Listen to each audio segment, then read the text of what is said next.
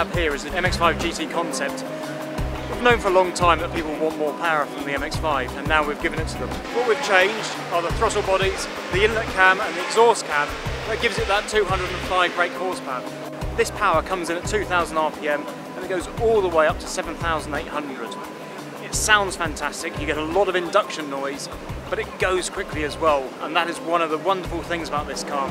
Hi, I'm Jade Paveley. Today I'm here at Goodwood Festival of Speed and I'm in the brand new Mazda MX-5 GT concept car.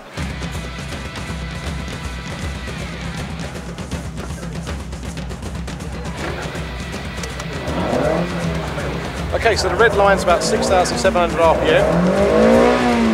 So make sure you use all the revs off the line. Watch out for that first corner. Lots of revs up the hill because the exhaust sounds great for the crowd. Um, enjoy yourself.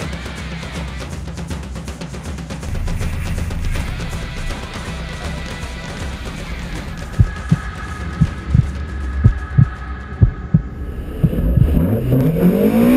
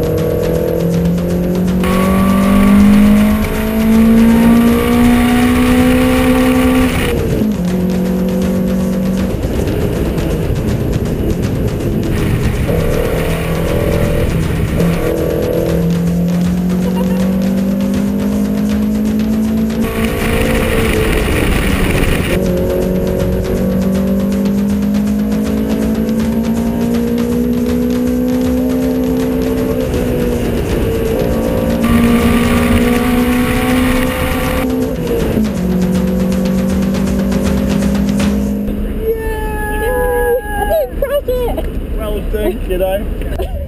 Good man? Yeah.